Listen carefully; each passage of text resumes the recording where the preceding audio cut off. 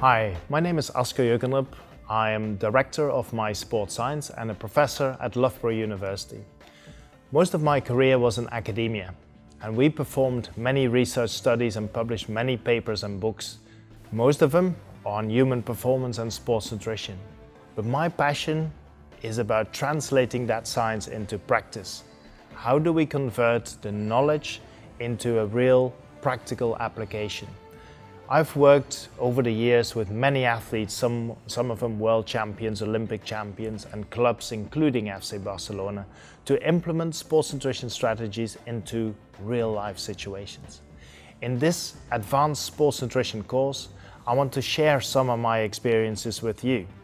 I believe that it's crucial to have a good understanding of underlying physiology and biochemistry of nutrition recommendations. But it's also important to be able to translate that knowledge into practical application. Communication is also essential.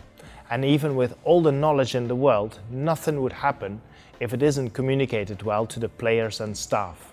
This course is the most advanced sports nutrition course available specific to team sports.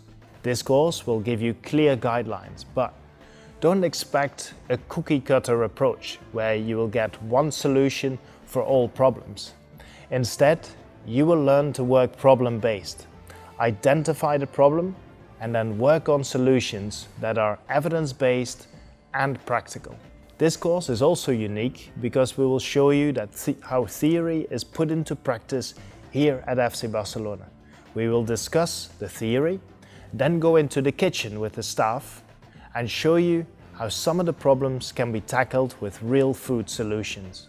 This course will help you distinguish sense from nonsense.